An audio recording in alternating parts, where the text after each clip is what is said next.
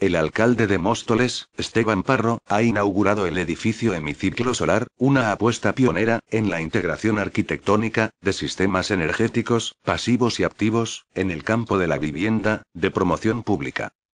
Acompañado por los tenientes de alcalde y el resto del gobierno local, el regidor ha visitado esta innovadora propuesta urbanística, ubicada en la Plaza del Sol, junto al Monumento a la Libertad, y diseñada por el Estudio de Arquitectura, RLA Ruiz Larrea y Asociados. Parro ha explicado, que aprovechando las potencialidades de su orientación, la forma del edificio, de 92 viviendas, se genera a partir de la línea del movimiento del Sol, organizando su volumen, en un hemiciclo orientado al sur, que además, sirve de remate urbano, al trazado visual del eje longitudinal, que estructura el nuevo ensanche, de Móstoles Sur. La orientación en hemiciclo, origina una polaridad, entre las dos fachadas. Como si de un organismo se tratase, el edificio es capaz de adaptarse a las diferentes condiciones climáticas del exterior. La cara sur, capta la radiación en las galerías solares, de cada vivienda durante el invierno, o se protege mediante un dispositivo de celosías, durante el verano. Y la fachada norte, resguarda a las viviendas de los vientos, durante el invierno, pero permite el refrescamiento nocturno, durante el verano.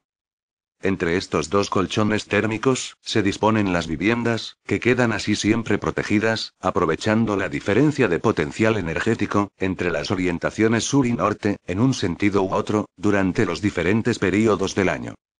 Estas estrategias de ahorro pasivo se complementan con el cuidadoso diseño de otros sistemas bioclimáticos complementarios, como la cubierta ecológica, la integración de los paneles fotovoltaicos y termosolares, y finalmente, una red de sistemas de ventilación y refrigeración natural.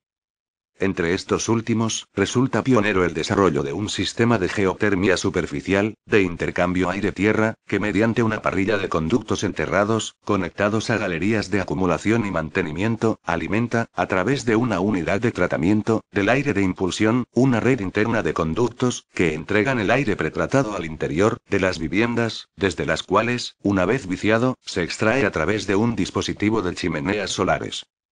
El alcalde ha asegurado, que con este proyecto Móstoles, da un nuevo paso cualitativo, en su afán de tener un sello de calidad, en todos sus ámbitos.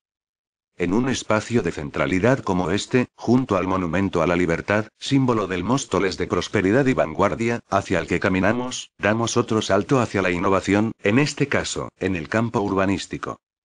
También ha indicado, que este edificio surge desde hoy, como un icono de la imagen del futuro de Móstoles, cuya estética comienza ya a estar muy alejada, de los bloques de 10 plantas, sin apenas equipamientos, que protagonizaron el desarrollo urbanístico de los años 70 y 80, y cuyas consecuencias aún estamos pagando en la actualidad. En su opinión, la imagen de Móstoles está ahora asociada a la calidad, con fotos fijas como el impresionante hito escultórico, levantado con motivo del bicentenario de 1808, el Centro de Arte Contemporáneo, el Teatro del Bosque o el Museo de la Ciudad, a las que en un par de años, se unirá el excepcional diseño, del nuevo pabellón Andrés Torrejón. Ha añadido, que es un firme convencido, de que el urbanismo sirve para estructurar, una ciudad de progreso. Por ello, este edificio se ha alzado en la Plaza del Sol, que ejerce de polaridad, en un barrio modélico en su desarrollo y construcción. En ese sentido, el regidor ha recordado, que esta arquitectura de la máxima calidad, se implementa en viviendas de promoción pública, lo que impregna de singularidad, a una de las propuestas